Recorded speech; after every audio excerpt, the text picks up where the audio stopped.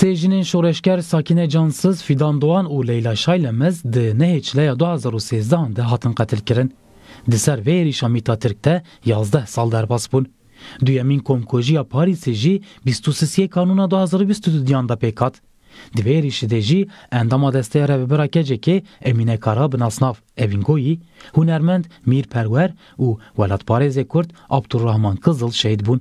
Ev her du dosya jî nehatine bi encamkirin û Fransa van komkojiyan wekî bûyerên ji rêzê dinirxîne. Ji bo ku ev komkojî werin ronîkirin gelê Kurd şeşê çileyê wê berê xwe bide Fransayê. Bi pêşengiya tevgera jinên Kurdên Avrupayê ji çar aliyên Avrupayê gelê Kurd wê biherîke Parîsê. Kongreya Civaka Demokratîk a Avrupayê kecedekî Avrupa bi daxuyaniyekî ji bo meşa Parîsê banga beşdariyekê xurt dike û dibêje tevê ku 11 sal derbas bûne lêgerîna me ya edaletê dewam dike. Lêpirsînên jaliyê dozgerên Fransî ve hatine kirin Mît û Enqerê nîşan didin. Lê hikûmeta Fransî heta îro jî doz negihandiye te encamekî. Daxuyanî wiha didome.